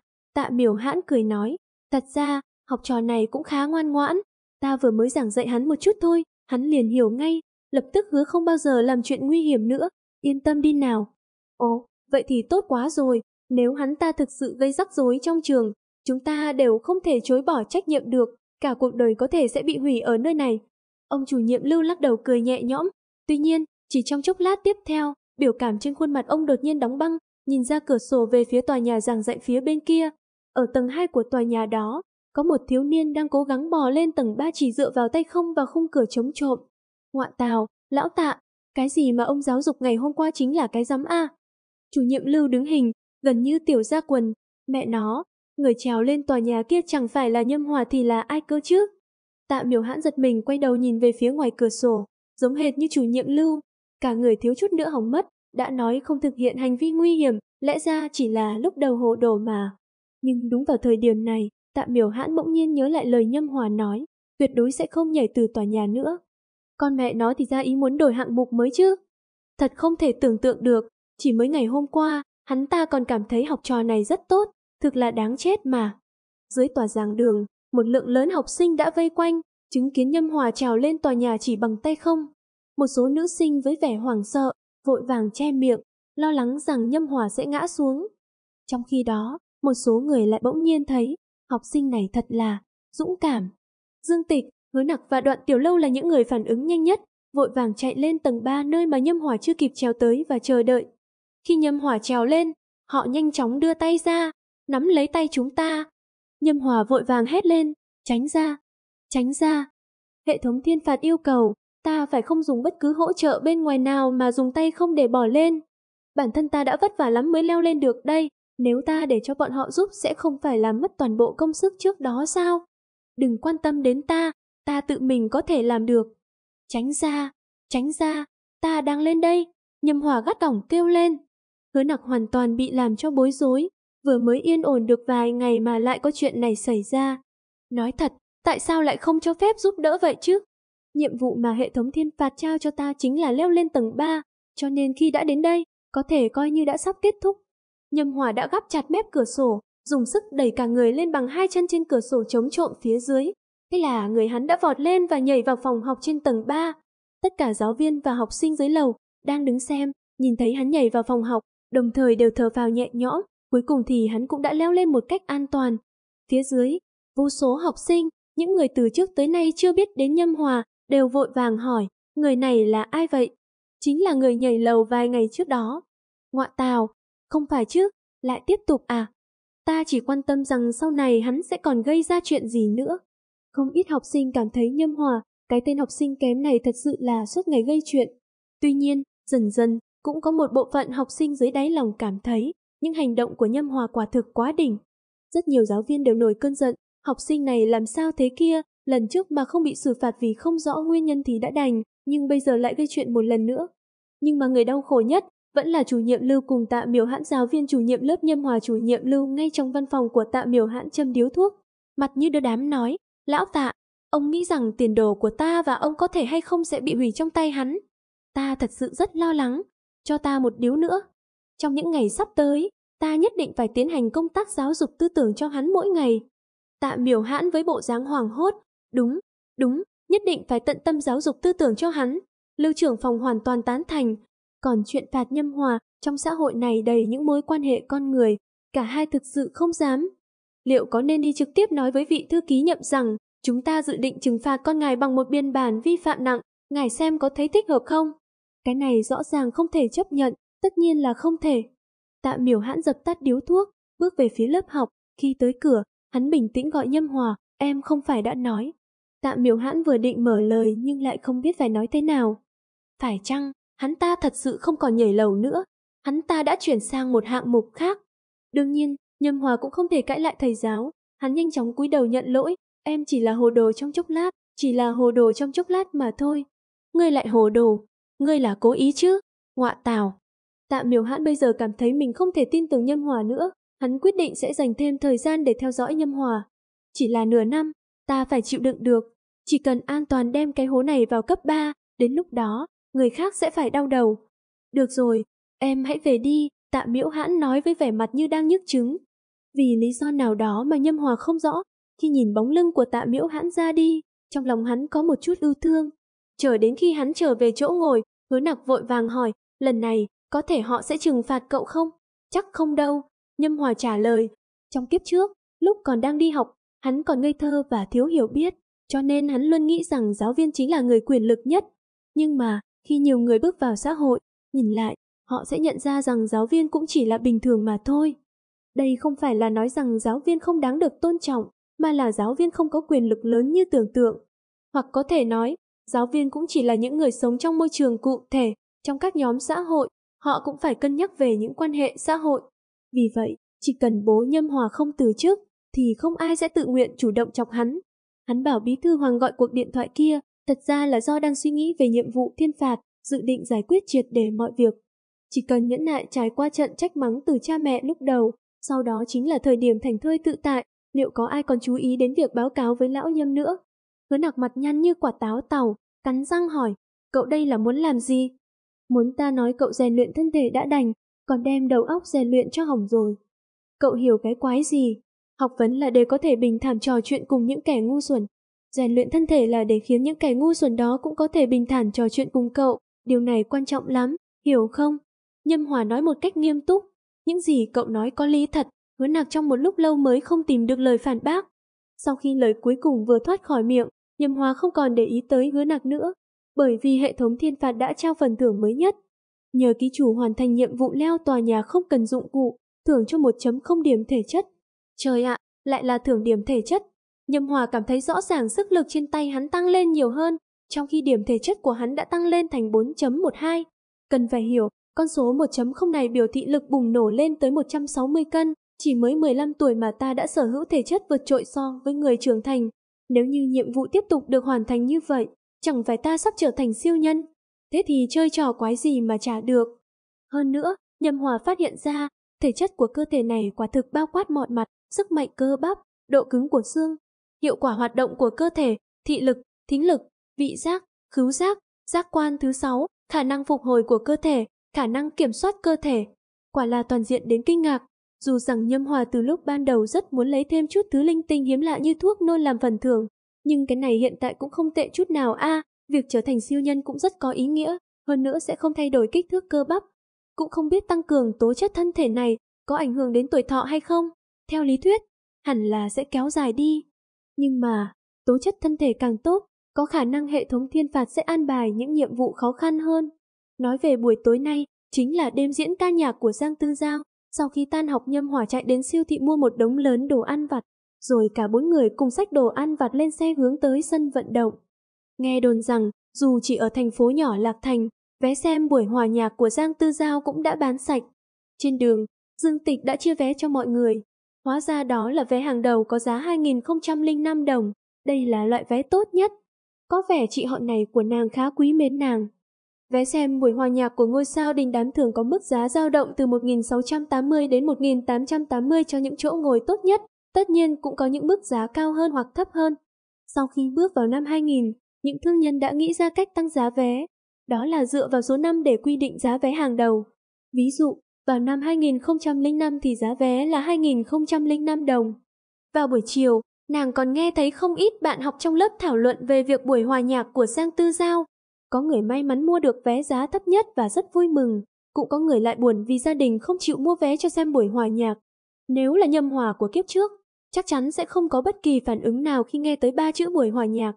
Bởi vì, không có tiền mà, thời kỳ thiếu niên, việc quản chế kinh tế thật sự là một điều đáng sợ. Trên con đường tới sân vận động, càng gần sân vận động, người đi nghe buổi hòa nhạc càng nhiều. Thế giới song song này, mặc dù văn hóa phát triển chậm chạp, nhưng phong cách tiêu dùng và việc bảo vệ bản quyền đều được thực hiện rất chuẩn mực. Cứ nhìn tiểu thuyết trên Internet này, nếu là vào thời kỳ sách lậu hoành hành, thậm chí cuốn sách của những tác giả tối thượng cũng chỉ có khoảng 40.000 đơn đặt mua trung bình mỗi chương, nhưng bây giờ kỷ lục cao nhất đã vượt qua 100.000. Chỉ có thể nói rằng, cuốn thần thư của Nhâm Hòa hiện tại mới chỉ đạt mức 7.000 đơn đặt mua trung bình mỗi chương, con đường còn phải đi còn rất dài. Đã tới cuối tháng này, tháng sau sẽ là cuộc đại chiến vé tháng mới. Biên tập Đông Phương Mạc Bạch đã thông báo trước cho hắn rằng đầu tháng sau, trang chủ của trang web sẽ tiến hành một đợt quảng cáo lớn, tất cả các trạm đều sẽ ủng hộ, hắn cần chú ý đến việc đăng bài. Do đó, Nhâm Hòa cảm thấy đây là thời điểm để thần thư lại tiến xa hơn một bước nữa. Mặc dù hiện nay số tiền nhuận bút đã đủ lớn đối với người bình thường, nhưng hắn còn có rất nhiều việc muốn làm, một số trang bị cho các môn thể thao cực hạn đều có giá cực cao. Hắn còn muốn giúp hứa nặc cậu nhóc mập mạp làm y tê, còn muốn giúp Dương Tịch đi hát, vẫn còn rất nhiều nơi cần tiêu tiền, kiếm tiền, kiếm tiền. Khi chuẩn bị kiểm vé để bước vào sân vận động thì gặp phải khó khăn, trước mắt là biển người, chẳng thể chen chân đến cùng kiểm vé. Đây chính là hiện tượng kỳ ba của những buổi hòa nhạc, đôi khi có những người không mua vé cũng thích đến xem náo nhiệt, tụ tập ở cửa xem xem có cơ hội lèn vào hay không. Còn có một số học sinh căn bản chỉ đến để cổ vũ thần tượng, mặc dù không mua được vé, nhưng cũng muốn đến tham gia chung vui. Nhâm Hòa đi đầu, mở đường cho Dương Tịch cùng những người khác, đám đông lập tức bị hắn dễ dàng xô ra hai bên. Khi đến cổng kiểm vé, chợt thấy lớp phó Lưu Anh Hải đã cùng hai cô gái mỗi người mặc lên một bộ đồ công an chuẩn bị đi vào từ cổng kiểm vé. Tình hình này, Nhâm Hòa hiểu rõ hơn ai hết, thường thì nếu có người thân làm việc ở công an, chỉ cần mặc lên bộ đồ công an, như những buổi hòa nhạc này thì cơ bản là và thoải mái. Rốt cuộc, công tác bảo vệ cho những buổi hòa nhạc như thế này luôn do Cục Công an phụ trách. Dù sao Lưu Anh Hải đối với Nhâm Hòa cũng có thể coi là người xa lạ, không dành để chào hỏi hắn. Tuy nhiên, Lưu Anh Hải lại nhìn thấy Nhâm Hòa cùng nhóm của hắn, tựa hồ hơi ngạc nhiên khi thấy họ cũng tới. Hắn hỏi, Tiểu Lâu, cậu không phải nói là không tới sao? Dường như trước đó hắn đã mời đoạn Tiểu Lâu nhưng bị cự tuyệt. Đoạn Tiểu Lâu cười nói, Dương Tịch có vé dư, ta liền đến. Lưu Anh Hải nhìn Nhâm Hòa và hứa nặc một cái. Cái nhìn này khiến Nhâm Hòa hơi khó hiểu, không hiểu ý hắn là gì. Nhâm Hòa không để ý đến Lưu Anh Hải, trực tiếp dẫn hứa nặc tiếp tục đi vào bên trong. Lưu Anh Hải dường như hơi tức giận, không hiểu vì lý do gì, gần đây đoạn tiểu lâu toàn gắn bó cùng Nhâm Hòa và hứa nặc, hai kẻ luân đội sổ này. Trong lớp tụ tập cũng không đi, lần trước đến Phi Vân Sơn, người hắn vẫn luống cuống đến mức làm mất mặt. Nhưng hắn không dám đối mặt với đoạn tiểu lâu để phát tức, chỉ có thể dồn giận lên Nhâm Hòa, kẻ nghèo hèn như ngươi xem biểu diễn làm chi, còn hưởng cái vé của người khác. Hừ, thật thú vị. Nói như vậy là ngươi chắc chưa biết Nhâm Hòa bây giờ có lòng dạ hẹp hòi đến mức nào chăng? Vừa chuẩn bị châm chọc thêm vài câu, Lưu Anh Hải thì... Quẹ, quẹ. Bữa tối vừa ăn, hắn đã ói hết ra tại chỗ, màu sắc phun tung tóe như một đài phun nước vậy, phun đầy mặt đất. Thật kinh tởm, Nhâm Hòa cảm thấy hôm nay hệ thống thưởng cho thuốc nôn mửa thực sự rất mạnh, việc nôn mửa còn giống như phun nước, quả thật hùng vĩ. Hắn vội vàng kéo đoạn tiểu lâu cùng nhóm họ đi vào tìm chỗ ngồi, hắn đã nhìn thấy mấy tên bảo vệ đang lảo đảo về phía này. Thậm chí còn có vài viên đôn đốc nội bộ của công an, chiếc áo cảnh sát trên người hắn đang mặc chắc chắn phải trả lại nơi mượn. Cơ hội sử dụng thuốc nôn ba lần đã tiêu tan như thế, Nhâm Hòa còn cảm thấy chưa đã. Ngồi ở hàng ghế đầu, Nhâm Hòa cảm khái với Dương Tịch, thật sự chưa bao giờ được ngồi ở hàng ghế đầu trong một buổi hòa nhạc, rất biết ơn cậu đó. Nếu là buổi hòa nhạc của người khác, ta đâu có khả năng mua vé. Dương Tịch cười mỉm nói. Cậu là muốn lên một sân khấu như thế để hát hả? Nhâm Hòa hỏi. Ừm. Sân khấu có thể đơn giản hơn một chút, không cần quá nhiều phô trương, cũng không cần vũ công đồng diễn, chỉ cần hát là được. Dương Tịch suy nghĩ một chút rồi trả lời. Được, ta sẽ sáng tác ca khúc cho cậu. Nhâm Hòa nói một cách nghiêm túc. Dương Tịch cười nhẹ, dường như cũng nhớ tới lời ước hẹn của họ, nhưng nàng lại nói, ta hiểu lòng tốt của cậu, nhưng việc sáng tác ca khúc không phải đơn giản như cậu nghĩ đâu. Nhâm Hòa không nói gì thêm, trong túi hắn lúc này chính là trong trời đêm nhất lượng tinh mà hắn dùng nhiệm vụ đổi lấy. Nói thực lòng, đối tượng nghe ca khúc của Giang Tư Giao thiên về phái nữ nhiều hơn một chút.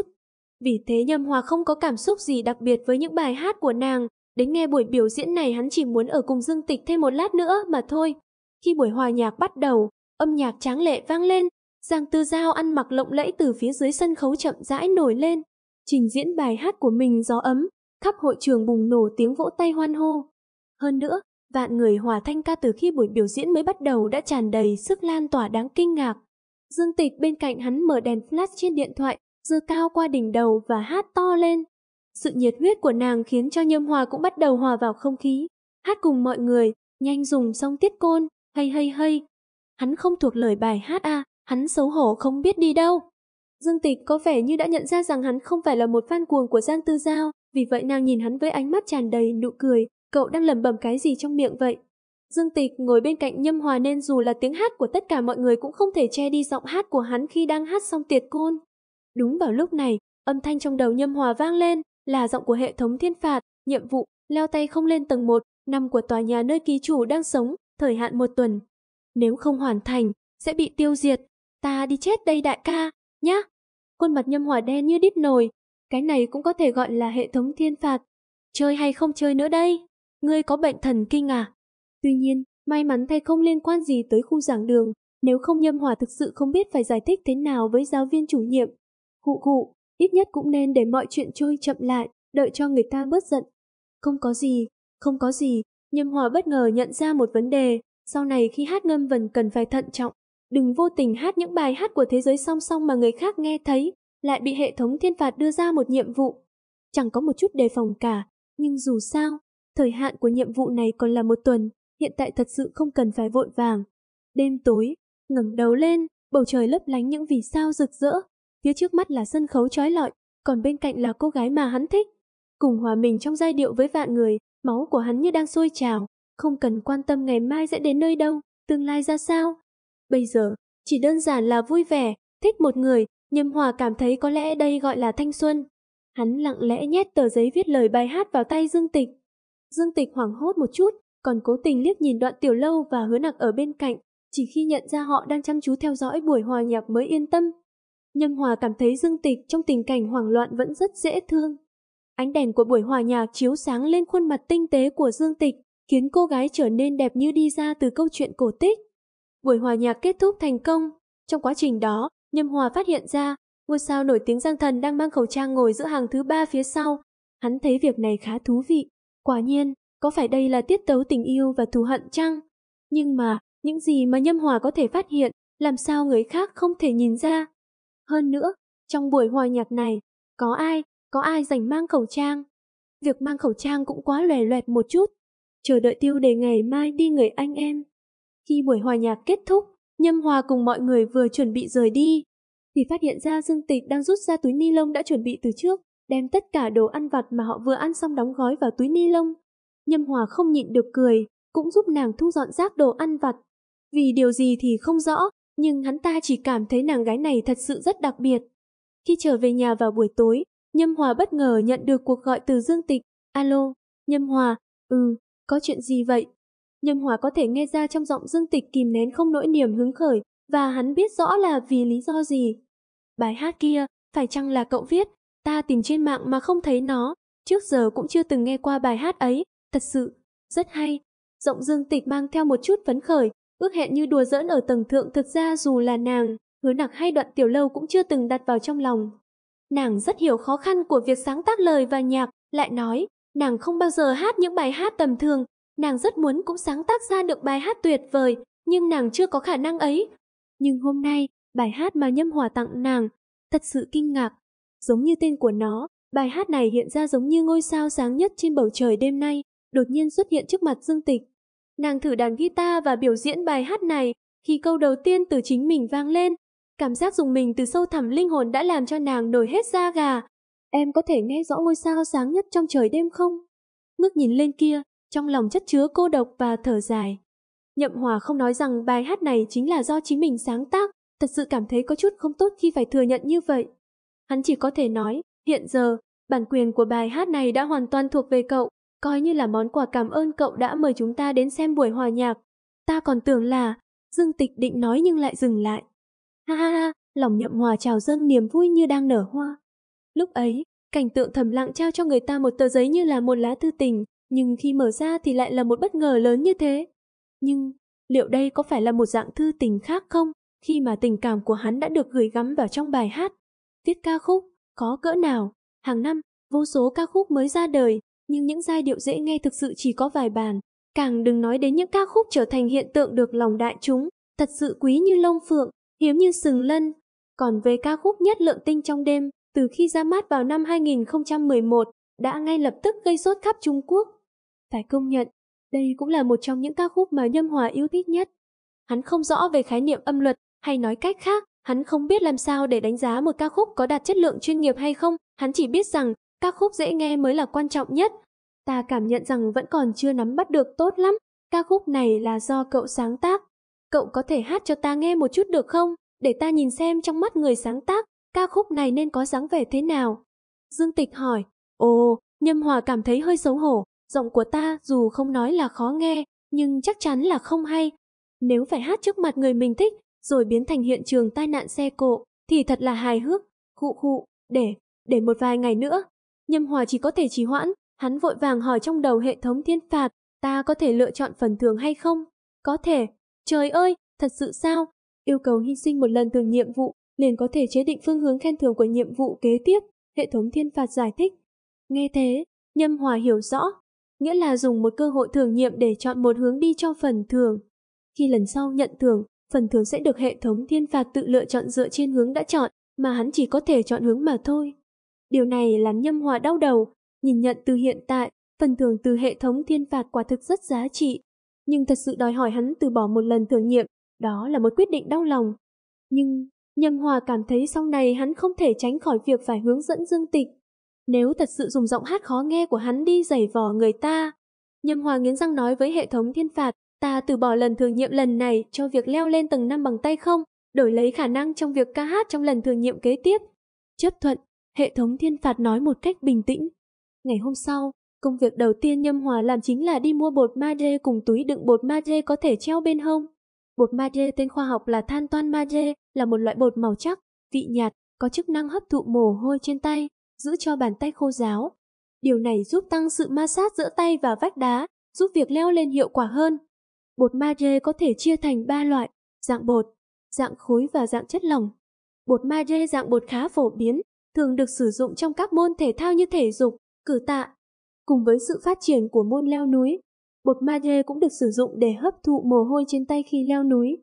Lần trước, Nhâm Hòa bắt đầu đổ mồ hôi đôi tay khi đã bò lên tận tầng 3 của tòa nhà giảng dạy. Lần này, với việc cần phải leo lên tầng 5, chắc chắn là sẽ phải nhờ đến sự trợ giúp của bột Magi.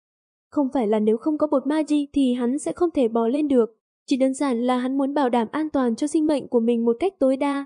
Tới khi đêm khuya vắng vẻ, Nhâm Hòa tập luyện đôi chút bằng việc chạy đêm để làm nóng cơ thể, sau đó bắt đầu leo lên tòa nhà của gia đình hắn. Với kinh nghiệm từ một lần trước, hiện tại miễn là thể lực của hắn đủ dồi dào thì hoàn toàn không có vấn đề gì. Khi đang bò qua tầng 2, hắn còn nghe thấy tiếng cãi vã của một đôi nam nữ từ bên trong. Tội lỗi, tội lỗi, Nhâm Hòa tiếp tục bỏ tiến lên phía trên. Ngôi nhà của hắn nằm ở tầng 5, đây là khu dân cư kiểu cũ, tòa nhà cao nhất chỉ đạt đến tầng 7. Cửa sổ phòng hắn đã mở sẵn, khi nào hắn bỏ lên tầng 5, vừa lúc có thể đi vào từ cửa sổ. Hệ thống thiên phạt mới nâng chỉ số thể chất của hắn lên 4.12, cho nên hắn bò lên không hề mệt mỏi. Nhâm Hòa bây giờ có cơ thể của một thanh niên, nhưng thể chất thậm chí vượt qua người trưởng thành bình thường. Tuy nhiên, chính khi hắn bò đến tầng 4, bỗng dưng hắn nhìn thấy bảo vệ ở dưới cầm theo đèn pin đi tuần tra. Bởi vì lần trước, cư dân tầng 2 đã tạo ra rắc rối, họ đã khiếu nại công ty quản lý. Kết quả bây giờ là các bảo vệ phải mang theo đèn khi đi tuần tra vào buổi tối, và họ còn bị yêu cầu kiểm tra xem có ai đang trèo lên các tầng hay không. Mắt nhìn ánh đèn sắp chiếu tới nơi Nhâm Hòa đang đứng, nguyên bản hắn có thể từ từ bò lên, nhưng cuối cùng, Nhâm Hòa buộc phải liều lĩnh, đua với thời gian. Tay hắn phủ một lớp bột magi để gia tăng lực ma sát trên ngón tay, hai chân dẫm mạnh lên cửa sổ chống trộm tầng 4. Cả người trong nháy mắt nắm được mép cửa sổ tầng 5, sau đó cánh tay bất ngờ phát lực, thân thể của hắn thoăn thoát nhảy vào phòng mình, nhẹ nhàng khép cửa sổ lại. Mà vào thời điểm này, ánh sáng từ đèn vừa đúng chiếu tới nơi mà hắn vừa rời đi. Người bảo vệ cảm giác vừa nãy giống như có thứ gì đó rung động một chút, nhưng khi nhìn qua thì lại không thấy gì, cửa sổ tầng 5 vẫn khép kín. Hắn đành phải lắc đầu, có lẽ chính mình đã thấy ảo giác. Thằng quản lý bất động sản khốn nạn này thật biết cách làm người khác mệt mỏi. Ban đầu chỉ cần tuần tra hai lần mỗi tối, giờ lại phải tuần tra đến 6 lần trong một đêm. Nhâm hòa trong phòng mình, mồ hôi đầy chán, việc vừa rồi thật quá nguy hiểm. Nếu bị người bảo vệ nhìn thấy, chắc chắn lại gây rắc rối, gây phiền phức cho cha mẹ. Lúc đó không biết sẽ có chuyện gì chờ đón hắn nữa. Tuy nhiên, vừa rồi, cú nhảy của Nhâm Hòa thật giống như một chuyến đi kích thích ngắn hạn, mặc dù rất nguy hiểm nhưng thật sự rất kích thích. Hắn vẫn đang thưởng thức cảm giác mạo hiểm này. Chủ nhân đã hoàn thành nhiệm vụ, phần thưởng lần tới sẽ được chọn từ hướng thiên phú ca hát, đã xong. Nhâm Hòa không chần chừ, mà trực tiếp lấy ra tờ giấy, vẽ lên đó khuôn nhạc và ghi tiêu đề Nam Sơn Nam. Bài hát của Dầu Vừng Diệp trong thế giới song song cũng đã nổi tiếng khắp đất nước. Có thể nói đây chắc chắn là một tác phẩm cấp hiện tượng. Hơn nữa, dòng nhạc dân ca cũng hoàn toàn phù hợp với sở thích của Dương Tịch. Hắn ta viết ra bài hát này một cách nhanh chóng. Như vậy thì lần tới, nhiệm vụ của hệ thống có thể được công bố sớm hơn và hắn cũng có thể hát trước mặt Dương Tịch rồi. Hắn không nghĩ tới là trong kiếp trước, hắn nhất quyết không dám mở miệng hát, lại được giải quyết nhờ hệ thống thiên phạt trong kiếp này. Ngay khi Nhâm Hòa vừa hoàn thành ca từ cuối cùng, hệ thống thiên phạt đã công bố nhiệm vụ mới trong đầu hắn. Nhiệm vụ, dùng tay không leo từ tầng 1 đến tầng 7 của tòa nhà chung cư nơi gia đình ngươi cư ngụ. Hạn cuối là một tuần. Nếu không hoàn thành sẽ bị tiêu diệt lại là leo tòa nhà. Chẳng lẽ ngươi cố tình đòi hỏi ta phải leo tới nỗi nôn ra sao? Nhâm Hòa không còn ý định nằm ngủ nữa. Lúc này vừa là thời điểm các bảo vệ kết thúc tuần tra, lần tuần tra tiếp theo cũng phải một giờ sau nữa. Hắn quyết định, hôm nay tối ta sẽ hoàn thành nhiệm vụ này. Hắn lén lút đeo túi bột ma đê, sau đó liền xuống tầng. Hiện tại thân thể vẫn còn nóng, không cần phải làm một lần khởi động nữa, trực tiếp leo thôi. Lúc này, không còn tiếng động gì từ phòng ở tầng 2, chắc là mọi người đã cãi nhau mệt mỏi rồi. Khi Nhâm Hòa một lần nữa leo lên đến tầng 5, hắn đã cảm thấy cơ bắp chút đau nhức. Suy nghĩ một chút, nếu cộng thêm 3 tầng của tòa giảng đường vào buổi sáng nay, tổng cộng hắn đã leo qua được 13 tầng. Nếu leo thêm 7 tầng nữa, tổng cộng sẽ là 15 tầng. Thật sự, sức khỏe của người trưởng thành bình thường cũng không phải là mạnh mẽ lắm. Vì vậy mà cơ bắp nhâm hòa mới cảm thấy ít đau nhức cũng là nhờ vào việc hắn giảm cân được một phần. Hết chương 30 rồi ạ. Xin chào và hẹn gặp lại bạn ở chương sau. Đừng quên nhấn like và đăng ký kênh bạn nhé.